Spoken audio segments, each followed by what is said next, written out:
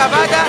Estamos disfrutando esta música que tanto nos llena y nos, nos alegra el día. Eh, lo he invitado a salsero.cl el Facebook oficial para que obviamente nos visiten y puedan ver todas las fotos,